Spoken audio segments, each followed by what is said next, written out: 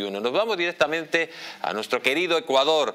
Y mire lo que dice la noticia, dice el presidente Guillermo Lasso en la encrucijada Dice, los jueces deben dictaminar, si dan vía libre, a que la Asamblea Nacional lleve a cabo el juicio político que podría destituir al mandatario.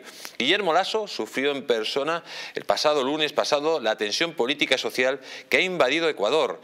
El presidente acudió hasta Alaosí, municipio andino afectado por el deslave de la tierra, que se tragó a 70 personas, incluidos 60 desaparecidos que todavía buscan las autoridades. Grupos de ciudadanos enardecidos frente al edificio donde el mandatario permanecía reunido con dirigentes locales. Incluso quisieron acceder al vehículo presidencial, lo que forzó la actuación de la policía. la luz fue, en esta ocasión, de insultos. El incidente revela la alta tensión cuando el presidente conservador se enfrenta a una decisión de la Corte Constitucional que puede provocar su destitución cuando solo lleva dos años al frente del país. Los jueces deben dictaminar si dan vía libre a que la Asamblea Nacional lleve a cabo el juicio político que le pone entre la y la pared, ya que la oposición es mayoritariamente en la Cámara. Pues éramos pocos, parió la abuela, como se dice aquí en la madre patria. Si solo teníamos Ecuador en manos de los demócratas, ahora los partidos chavistas, los partidos marxistas, que son mayoría en la Cámara, prefieren darle un golpe político, un golpe de mano.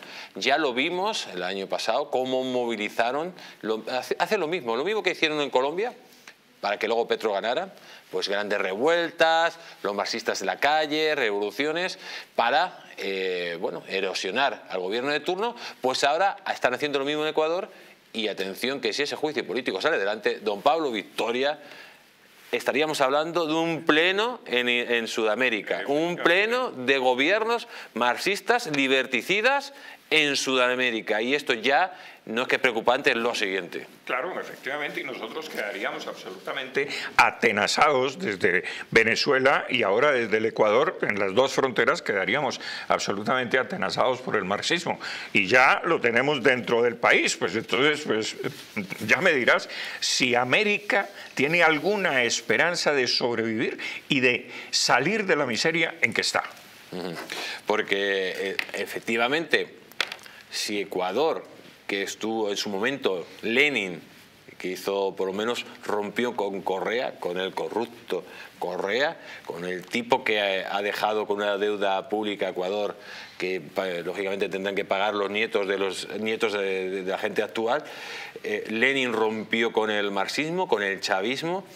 Eh, es verdad que el indigenismo pactó con Lasso, pero el movimiento marxista chavista es muy potente y además Estamos hablando de que tiene muchos recursos. Si el señor eh, Maduro va a utilizar 38 mil millones de dólares para su campaña, pues imagínense, eh, con ese dinero también apoyará a diferentes grupúsculos eh, revolucionarios, sobre todo para subvertir la democracia. Sí, y sobre todo que también hay que decirlo, Ecuador tiene una larguísima tradición de inestabilidad política, de golpes de Estado, de tumbar gobiernos, de revueltas, de insurrecciones.